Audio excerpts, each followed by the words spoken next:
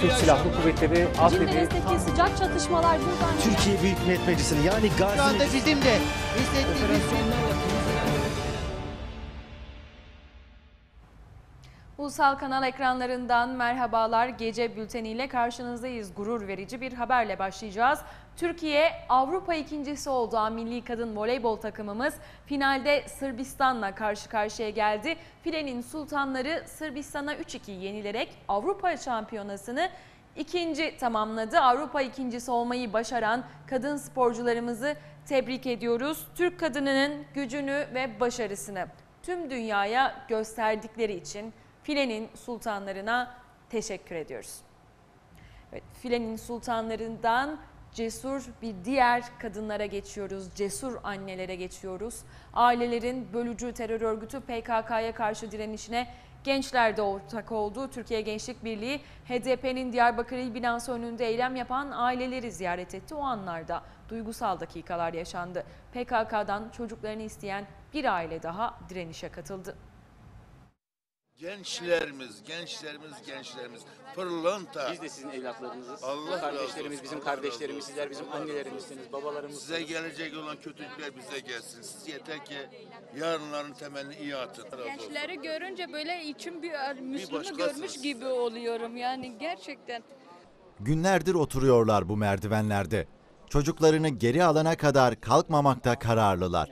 Gençlik Birliği annelerin sesine ortak olmak için HDP Diyarbakır İl binasının önüne geldi ve dediğimiz gibi 6 gündür aslında Hacire Ana'nın sesiyle başlayan o dalga dalga yayılan isyana dahil oldu anneler. Sayıları da her geçen gün katlanarak devam ediyor. Şu anda 15 aile HDP Diyarbakır İl binasının önünde. Kiminin Yani artık bilmiyorum sonuç nereye varacak ama hayırlı olacak. Hayırlı olacak çünkü mücadeleniz bütün Türkiye'de Şu anda büyümeye devam vekilleri edecek. bekliyoruz. Onu. Gençlerin ailelerle buluşması hem duygusal hem coşkuluydu.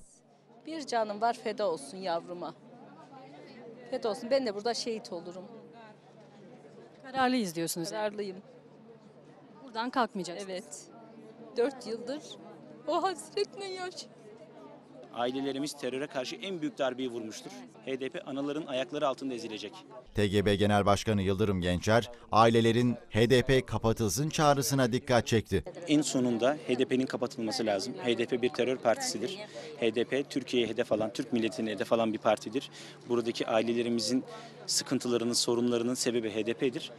Gençer, ailelerin isyanına sessiz kalanlara tepki gösterdi. Sessiz kalmak da bir tavırdır. Sessiz kalarak HDP'nin, PKK'nın suçuna ortak oluyorlar. Ya ailelerimizin yanında olacaklar burada ya da HDP ile PKK ile aynı duyguları paylaşacaklar. Bir ailenin daha katılmasıyla eylemdeki ailelerin sayısı 15 oldu. Ayten Elhaman 2 yıldır oğlundan haber alamıyor. Her gün rüyalarıma giriyor diyor ki anne gelecek geleceğim diyor. Hadi inşallah rüyalarım gerçek olsun oğlum hadi gel. Aralarında Nagihan Alçı'nın da bulunduğu bir grup kadın gazeteci de aileleri ziyaret edenler arasındaydı. Siyasi olarak hangi görüşte olursa olsun bütün Türkiye'ye bu çağrım. Burada annelerin çocuğunu kaybetmiş yani evlat acısından daha büyük bir acı yoktur diye düşünüyorum. Allah kimseye vermesin. Yüreğinin sesini dinleyip televizyonda işte Hacire Ana'yı izleyip gelmiş bir avuç kadından bahsediyoruz. Bu sayının artması gerekir ve bu çığlığın duyulması gerekir. Ziyaretler sonrasında HDP Diyarbakır İl Başkanlığı basın açıklaması yaptı.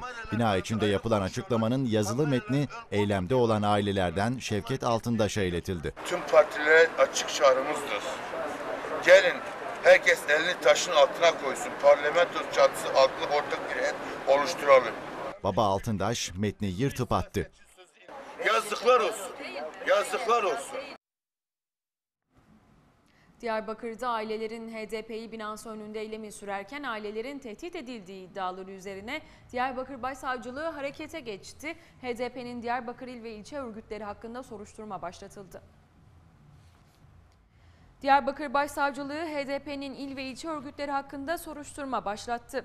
Diyarbakırlı annelerin 3 Eylül'de HDP İl Başkanlığı önünde başlattıkları oturma eylemi devam ediyor. Çocuklarını kurtarmak için oturma eylemine katılan Biçer ailesi HDP Bağlar İlçe Gençlik Kolları üyesi 3 kişinin eylemlerini sonlandırmaları için uzun namlulu silahlarla kendilerini tehdit ettiğini söylemişti. Bunun üzerine Diyarbakır Cumhuriyet Başsavcılığı harekete geçti. HDP Diyarbakır İl ve ilçe örgütleri hakkında soruşturma başlatıldı. Başsavcılıktan konuyla ilgili açıklama yapıldı. Açıklamada bilindiği üzere PKK terör örgütü tarafından çocukları kaçırılan ailelerin HDP Diyarbakır İl Binası önündeki oturma eylemleri Hacire Akar'la başlamış ve akabinde 16 ailenin daha katılımıyla büyüyerek devam etmiştir. Bu süreçte ailelere ülke kamuoyundan yoğun destek verenler olduğu gibi örgüte müzayir kişiler ve örgüt yanlıları tarafından da çeşitli taciz ve tehditler edilmeye başlanmıştır. Bununla ilgili olarak emniyet birimlerine bütün oturma eylemi yapan ailelerin korunması için tedbir alınması yönünde talimat yazılmış. HDP il ve ilçe yöneticileriyle ilgili adli soruşturmalar başlatılmıştır denildi.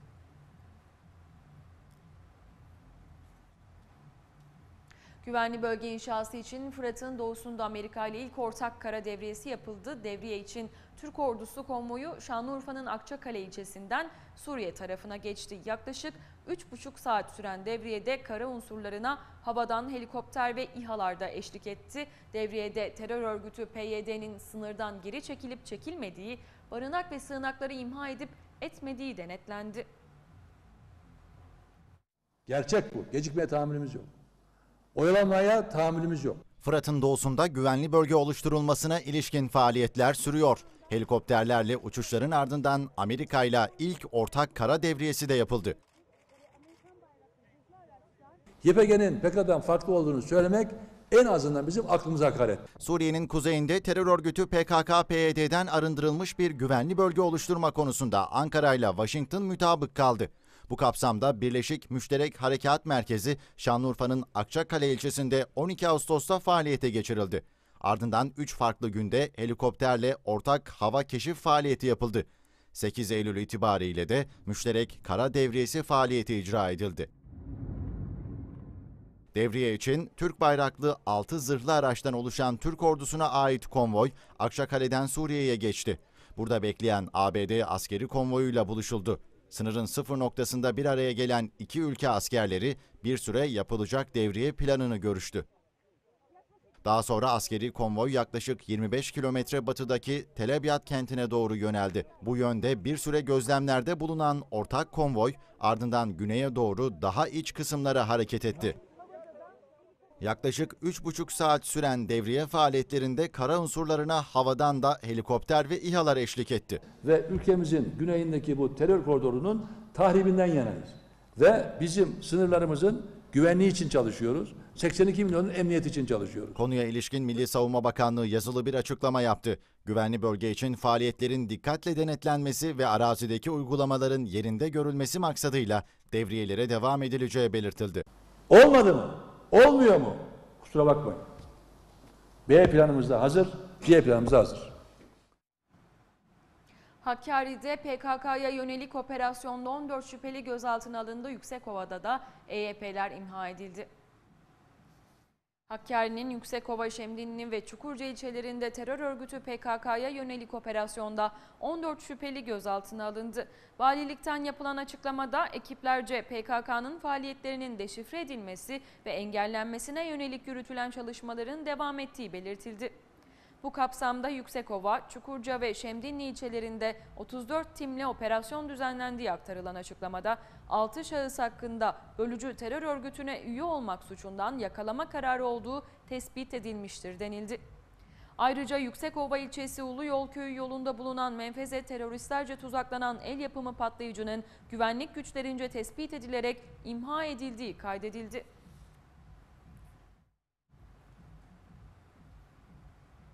Rusya'da halk yerel seçimler için sandık başına gitti. 85 bölgenin her birinde yerel idareci ya da yerel meclis üyeleri seçilecek. Rusya Devlet Başkanı Vladimir Putin de seçimler kapsamında oyunu Duma'da kullandı. 85 bölgede yerel idareci ya da meclis üyelerini seçmek için sandık başına gitti. Sandıklar sabah saatlerinde açıldı. 16 bölgede vali, Kırım dahil 13 bölgede ise yerel meclis üyeleri seçilecek. Rusya Devlet Başkanı Vladimir Putin Duma'da sandık başına gitti. Oy kullanma işleminin Rusya'da saat 20'de sona ermesi bekleniyor.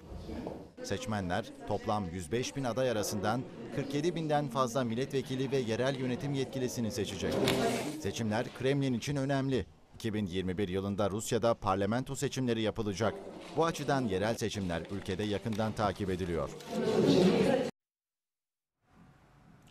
Okullar açılıyor. 18 milyonun üzerinde öğrenci ve 1 milyonu aşkın öğretmen için 2019-2020 eğitim öğretim yılının ilk ders yılı yarın başlayacak.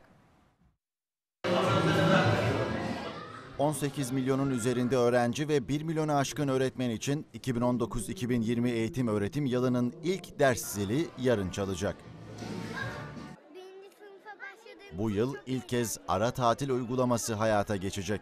Birinci dönem ara tatili 18-22 Kasım 2019'da, ikinci dönem ara tatili 6-10 Nisan 2020'de yapılacak. Yeni eğitim ve öğretim yılı birinci dönemi 17 Ocak 2020 Cuma günü sona erecek. İkinci dönem 3 Şubat 2020 Pazartesi başlayacak ve 19 Haziran 2020 Cuma tamamlanacak. Şimdi çok anlamlı bir görüntü getireceğiz ekranlarınıza. Jandarma üst bölgesinden öğretmen ve öğrencilere mesaj var. Jandarma Genel Komutanlığı'nca 2019-2020 eğitim öğretim yılı için hazırlanan videoda Şırnak Çakırsöğüt Jandarma Tugayı'nda görev yapan askerler yeni eğitim öğretim döneminde başarılar diledi. Sevgili öğrenciler, değerli öğretmenler. Bizler Şırnak Namazdağ üst bölgesinde vatanımızın bölünmezliği için görevi başında olan abileriniz, kardeşleriniziz. Yaz kış demeden gece gündüz sınırın sıfır noktasında silahlarımızla nöbet başında bizler beklerken siz değerli öğrenci kardeşlerimizle kalemlerinizle yeni bir döneme başlayacak. Hedeflerinize ilerlemek için adım adım yürüyeceksiniz. Unutmayın ki kalem kılıçtan keskindir. 2019-2020 eğitim ve öğretim yılında Şırnak Şakırsöz Jandarma Komando Tugayı'ndan yarının emanetçileri siz sevgili öğrencilerimize ve saygıdeğer öğretmenlerimize başarılar dileriz. Başarılar dileriz.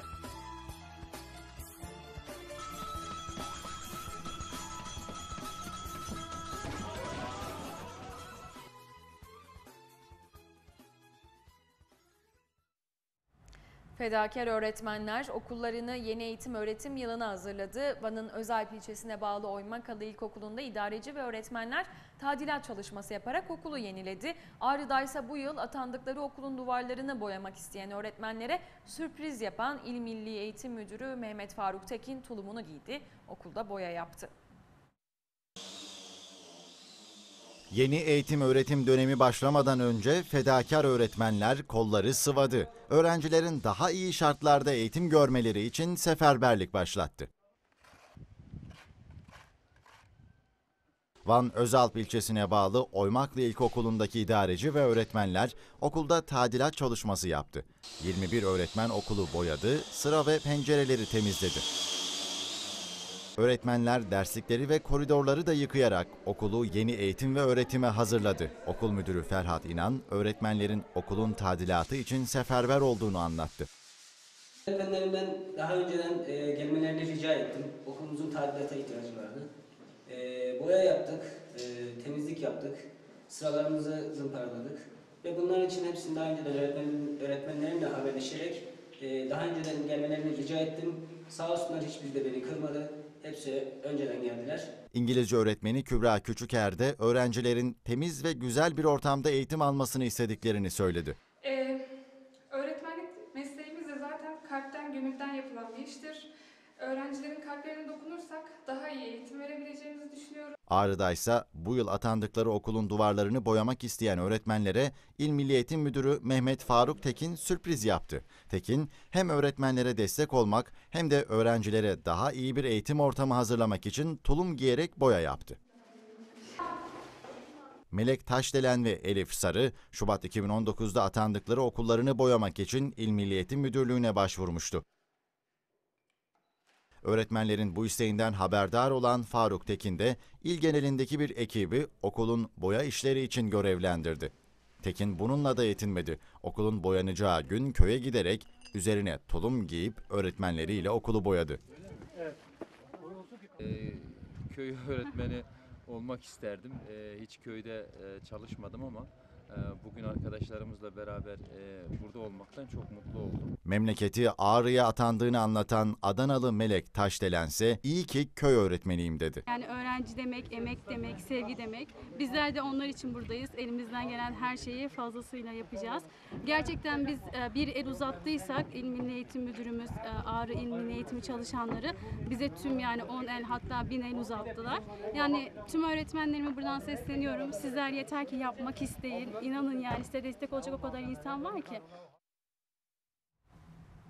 Elazığ'da tespih ustası Uğur Gündoğan eski kaşık, bıçak ve çatal saplarından tesbih üretiyor. Yapılan tesbihler koleksiyoncular tarafından büyük ilgi görüyor. Bu tesbihler diğerlerinden farklı. Eski eşyalardan üretiliyorlar. Eski bıçak, kaşık, çatal saplarından yapılan tesbihler koleksiyoncular tarafından büyük ilgi görüyor.